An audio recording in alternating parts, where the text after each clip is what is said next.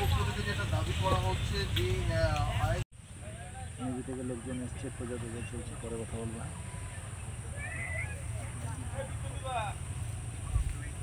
নিজে থেকে লোক এসেছে